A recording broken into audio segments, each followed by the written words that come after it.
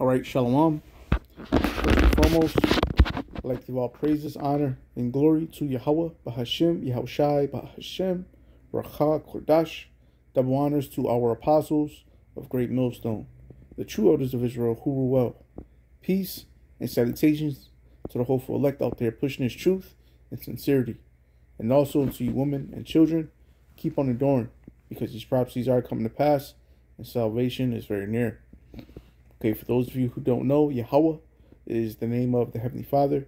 Yahweh, meaning He exists or He is to be. Yahushai is His beloved Son, who the world ignorantly calls Jesus Christ. Okay, Yahushai, meaning He saves or He is the deliverer. Okay, this is uh, Rakha Kodash is Spirit Holy. Pronounced in English as Holy Spirit. This is how you say the Father, Son, and the Holy Spirit in the Paleo Hebrew, also known as Ancient Hebrew, aka the Holy Tongue. I'm your brother Bashar, and I'm coming at y'all with a quick um, video dealing with this picture that the brother, I believe he's from um, California. Um, he posted this uh, picture. It says American History Quiz brought to America in chains at the bottom of ships.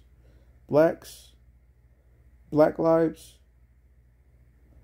B, all lives. Okay, now this is dealing with primarily the southern nation of of Israel. Okay, because you know they got this whole thing, this whole Black Lives Matter movement, which we know is uh ran by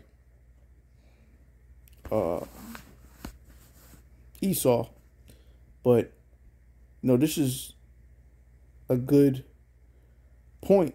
Whoever made this um this this uh, picture, because there was this you know phrase that came out, all um Black Lives Matter. Okay, and then shortly after, our oppressors came out with the term all lives matter. You know, as basically um basically saying that you know we don't really care about you. Okay? All lives matter. Okay? But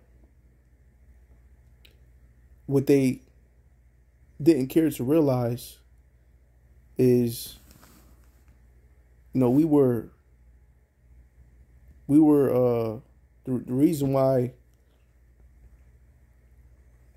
you know our people um use this term a lot is because we've been treated and when I say we, you know, I, I'm not I'm not only talking about the southern nation of Israel. I'm talking about the, the northern nation of Israel as, as, as well. You know, you so-called African Americans, so-called Native Americans, and so-called Hispanics. Okay, and you Israelites that look like the other nations because you were scattered amongst the other nations, the ones that be likened unto the speckled bird. Okay, you know, we feel like our lives don't matter here. You know? Now let's go into the picture. It says American History Quiz brought to America in chains at the bottom of ships. A. Black lives. B. All lives. Enslaved in America for over 400 years. A. Black lives. B. All lives. So basically, the answer to all of these questions are, you know, black lives. And this is just to make a point that, you know, our lives do matter. Um, but we understand why, you know, those of you who are in the know, those of you who are in the truth and, and, and know, we, we understand that the Lord set this devil up to rule over us. You know, to rule over us as a punishment. The scriptures say that um, the wicked is the Most High's whipping stick. Let's get that scripture. Okay, this is the book of Psalms, chapter 17, verse 13. Arise, O Lord, dis- disappoint him, cast him down, deliver my soul from the wicked, which is thy sword. Now we know that the wicked is so-called white man. Okay, Esau Edom. And the Lord is using him to basically chastise us. Okay, this is why we feel like we don't matter over here. Because they don't they don't they have a, a, a, a anger towards us. All right? That they can't control. And it's because the, they are the wicked and we are the righteous. And they don't, you know, righteous and wicked is like oil and water. They don't mix. Okay? And the scriptures also say that this is not our rest. Okay, so just to give a brief explanation on why we feel that way. Well, we feel this way because the Lord, um, know, set us up here. This is like a brought brought brought us over here as a punishment. Okay, we had we had a uh, uh, a sentence to to uh we were sent here for a sentence all right and now that sentence is almost up but we shouldn't be crying about um the rights that we don't have in this place we should be we should we should be slocky we should cry but we we shouldn't be crying to them they ain't got no power we should be crying to the Lord, Yahweh Bahashim Yahushai. Okay? He's the one that's going to deliver us out of this place. But we have to repent, be born again. Okay, you can check out my last video I made about being born again. Check it out. But we have to be born again. We have to turn to the Lord and seek his seek his ways and learn his ways, the law, statutes, and commandments and show love towards the Lord. What is love? Love is keeping the law, statutes, and commandments. Okay, let's get that. Okay, this is the book of John, chapter 14, verse 15. If ye love me, keep my commandments. Okay? So we got to turn to the Lord, worship the Lord, and we have to repent and practice, rehearse the righteous acts to the best of our ability. All right? Obviously, we don't want to be over righteous, but the point is turn to the Lord. And we wouldn't have to worry about whether if our lives matter. You know, the Lord is going to make he, he's going he's going to make it known that we matter because we are his chosen nation. We are his chosen people. And he's going to make it known. Okay, this is the book of Lamentations, chapter 4, verse 22.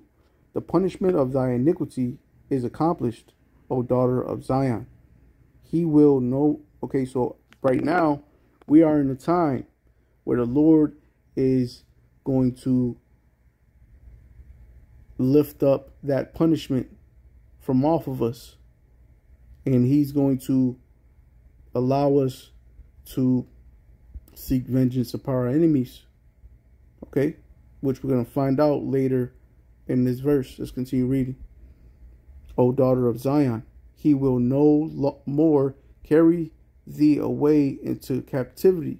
How do we get carried away into captivity? When you go into that to that little history, well, to that picture, you see that they mentioned the Atlantic slave trade.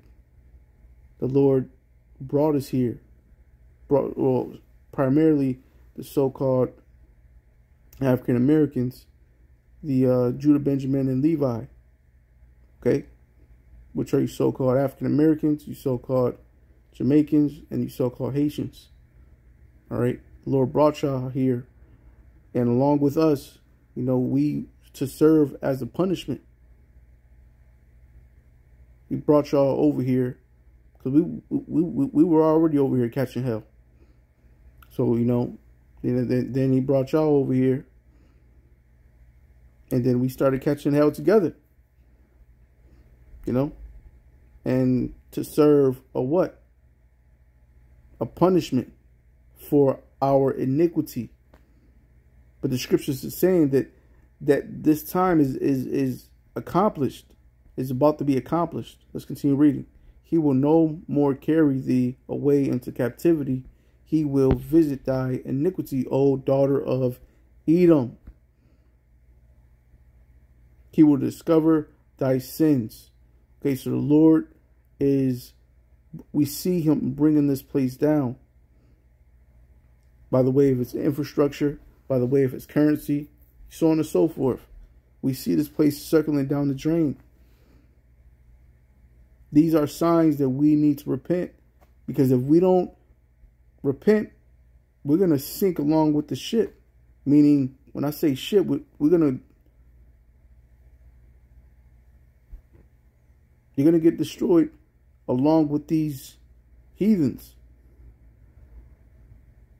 from the destruction that the Lord is about to bring upon this place. So you got to repent now. Okay? And I'm not saying everybody's going to be destroyed by through the, the destruction because the Lord is going to bring a, uh, he's going to cause people to get destroyed from various different ways prior to the destruction. Okay. So even now you should be you, you should be fearing. Turn to the Lord and repent. Okay. When you, I recommend you brothers and sisters read Deuteronomy the 28th chapter because the Lord tells us what's going to happen if we obey and what what's going to happen if we disobey. All right. So I'm gonna leave y'all with that. Lord willing, brothers and sisters was edified. Um. So next, um. I'd like to give all praises, honor, and glory to Yahweh, Bahashim, Yahushai, Bahashim, Racha, Kodash. Double honors to our apostles of Great Millstone. Peace and salutations to the hopeful elect out there pushing this truth and sincerity. And also to you women and children, keep on adoring because these prophecies are coming to pass and salvation is very near. This is your brother Bashar. Lord willing, brothers and sisters was edified. Shalom.